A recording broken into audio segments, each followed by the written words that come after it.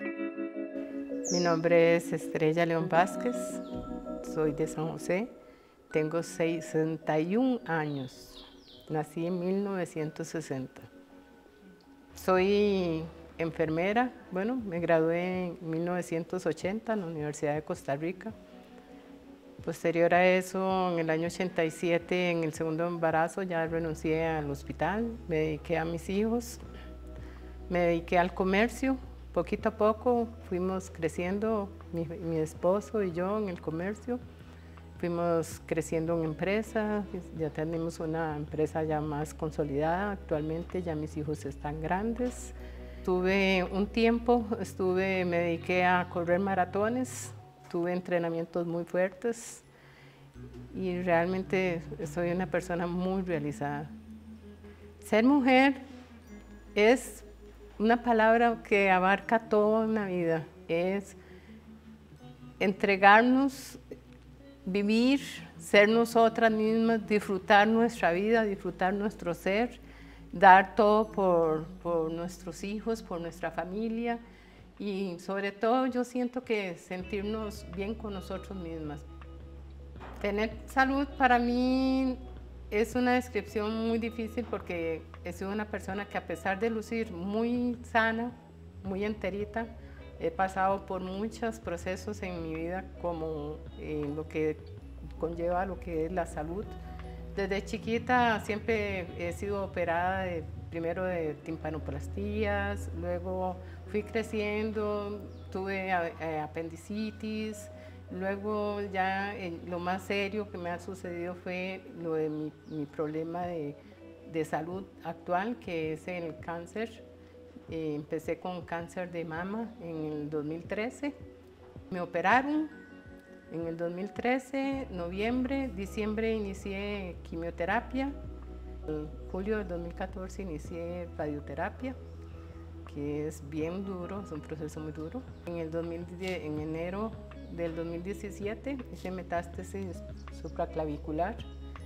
Y actualmente soy una persona que recibo quimioterapia, recibo pertuzumab y trastuzumab cada 21 días y no, la puedo, no me la pueden quitar porque como ya tuve metástasis, tengo que seguir en el tratamiento hasta que, hasta que Dios quiera. Cuando me dieron la noticia de que tenía cáncer de mama, yo pues me deprimí un momentito porque es un, es un golpe muy duro para uno como mujer y como ser humano, ¿verdad? De atravesar esto, lo que es esta enfermedad. Yo el proceso de, de reconstrucción de mama lo inicié en el 2015 finales del 2015 un TRAM transabdominal, que es que le toman a uno, le cortan un pedacito del músculo del, del estómago y lo invierten para formarme y rellenarme un poquito el, el, el, hueco profundo que me quedó de la cirugía. El médico me recomendó que lo mejor era para que ya resolviera un poquito mi problema de feminidad, ¿verdad? Porque eso es más que todo es algo estético que uno quiere pues verse en el espejo y no ver esa cicatriz tan severa. Y por eso decidí ponerme el, los implantes mamarios. Yo siento que lo que a mí me ha ayudado mucho es haber estudiado enfermería. Para mí eso es importantísimo porque yo tuve pacientes que atendí de, de cáncer. Yo puse quimioterapias. Mi cuerpo es fuerte porque corría maratones, entrenaba muy fuerte, me alimentaba muy bien y la verdad que este, siento que el apoyo de la familia también ha sido muy importante, es un factor importantísimo. Pero lo más importante para mí siento que es eh, la mente. Y cierto, uno, yo, yo sufro de vez en cuando depresiones, cualquiera nos ponemos tristes.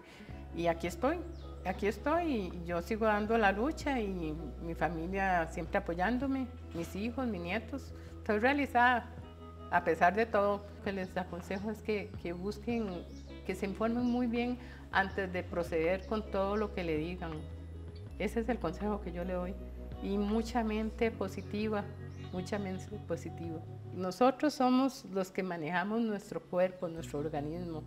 Entonces por eso es que hay que hacer mente de que tenemos que seguir adelante, hay que seguir en la lucha y hay que ponerle bonito y darle gracias a Dios, que gracias a Dios sí he tenido muchas compañeras que de ellos me dicen, cuando yo veo que son, que empiezan la primera vez y que llegan todas asustadas, porque primero les hacen una entrevista y todo, yo les digo que, que vamos para adelante en la lucha, que hay que montarnos ya en el tren de la vida y sacar todo adelante.